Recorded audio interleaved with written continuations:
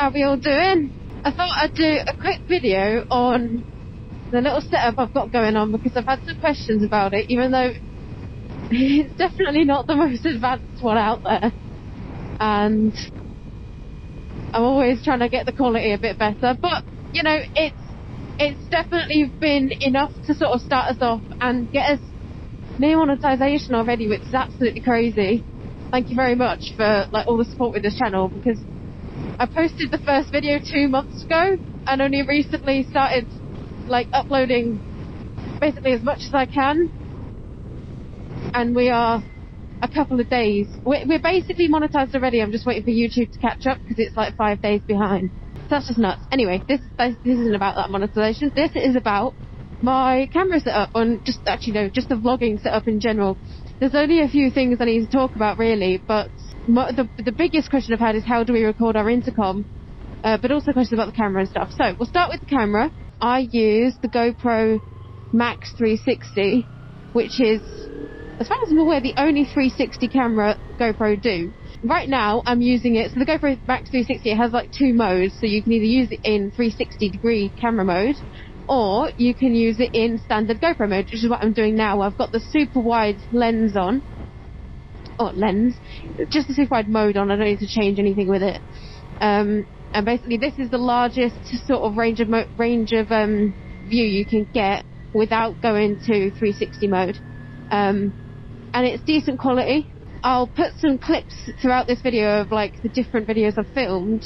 So um, obviously right now I'm using it in GoPro mode, but I've also used it as a 360 camera and filmed videos like that. The only difference with that is I have to open the 360 video and it get, it records in 8 minute chunks. The, the chunks are seamless. You can't tell that it's been recorded in chunks. It just does that. I'm assuming to keep file size down um, when I open up the 360 video, I have to export it twice because I want both the front view and the view facing me. Um, so that's the reason why I don't always record videos like that, although I do like the switching of views. Um, it's because it does take a little bit more time because I have to export all the videos as separate videos, if that makes sense, and then put them in my editing software to edit them like normal. Um, but a standard GoPro mode like this, they're super easy to edit because it's just Again, it records in chunks, but the chunks are seamless. They're, they're within milliseconds of each other. And the, the settings are basically on auto at the moment. And again, as I said, they do the job. Katie will be getting a camera soon as well, so we can, oh my god, why is this road so bumpy? So we can switch between camera views when we're doing our dual vlogs, and also so she can start recording her own vlogs as well. But really, any camera that's got decent reviews will do the job for your first one as long as you've got a decent view. But I started filming these videos without realizing my camera had a super wide range and the video still did okay. So again, it's more about just the quality of the whole package. So audio is next. If you don't have decent audio, you're not going to get very far. Now my audio is far from the best. Hello biker. How are you? What have you got? Royal Enfield, nice. I don't know whether you nodded at me, I'm too focused on the corner now. So I started this channel by recording my audio using Cardo Spirit because I was borrowing my dad's one. He was bikeless and he had a Cardo, and I was like, oh, I'll use that if you if you don't mind. And voice recording is not a feature on Cardo Spirit if you go through the Cardo app. However, if you have a Samsung, as far as I'm aware, it's only on Samsung or maybe just Android, but we couldn't figure it out on Katie's iPhone. I have a Samsung, and in my my God, this road in my voice recording app, just the general phone one, not a not in the Cardo app. If you change the settings to use a Bluetooth speaker when available, you are able to record your audio through your Cardo, regardless of which one it is, as long as you have a mic. I've found that the mics that are the sticky ones that go in the full face helmets are better quality than the mics that go in the, the um, modular helmets so if you compare the audio from my first video, which was filmed with that modular helmet mic. So I'm testing out this helmet mount and we'll see how it goes. Because the sticky one I had had broken. Um, the audio isn't as good as the next video where I had a sticky mic.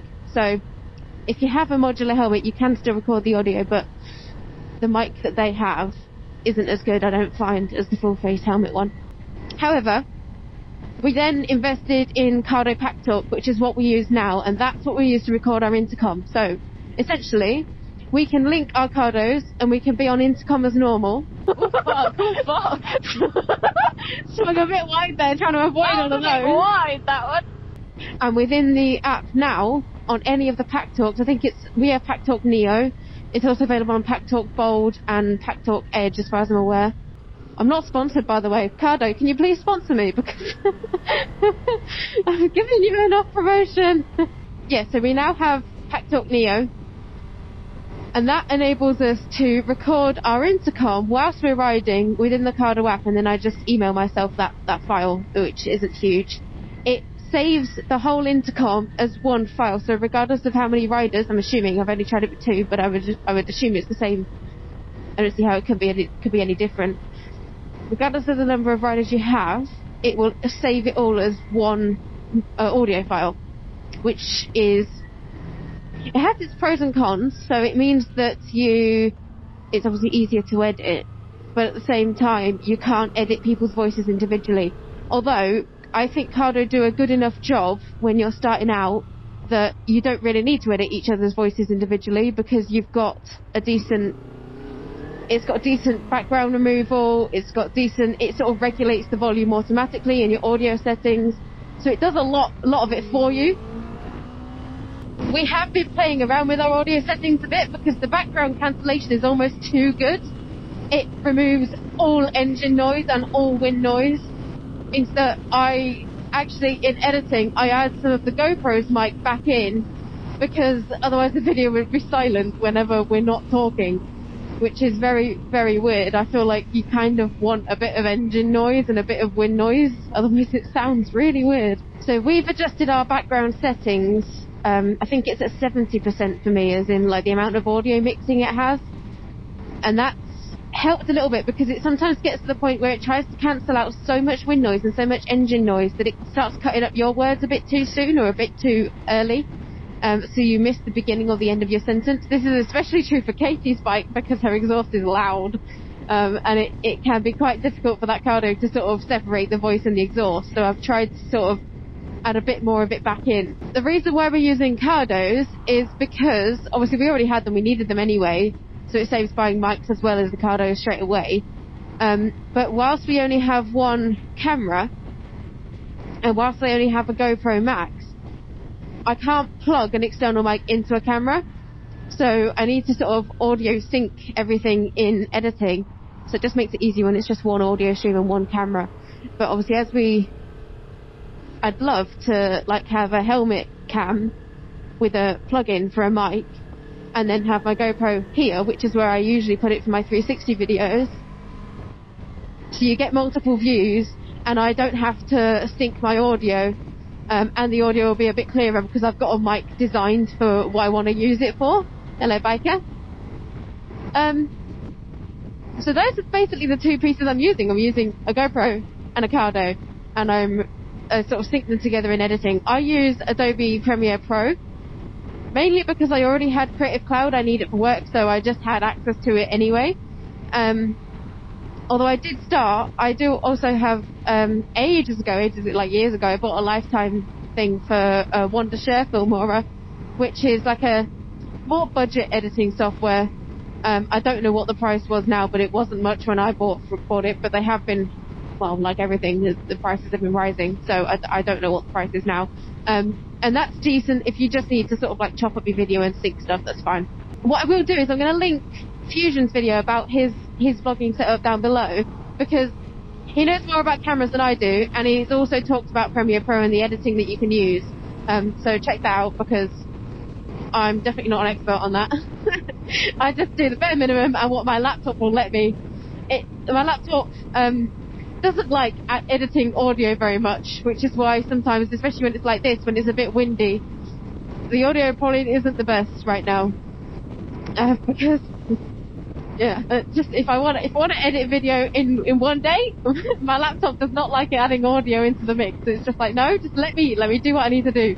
I suppose uh, a newer investment that I got, I did have like a cheap five pound helmet cam mount for helmet um, from Amazon that just sort of straps over the chin bar Whereas now I'm using chin mounts, which is like actually stuck onto the helmet.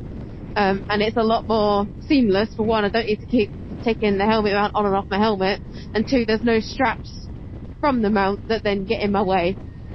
So definitely recommend if you're wanting to mount your, your camera on your helmet, go and see chin mounts because uh, that website has basically every helmet possible, and I think they take requests. I'm not too sure, but yeah, any of the any of the mainstream helmets will definitely be on there. So I hope that helped. Thank you very much for watching. Oh, I hate this part of the road. Oh yeah, let's just highlight the potholes in yellow instead of actually fixing them. It's a wonderful idea. If you haven't already, please subscribe.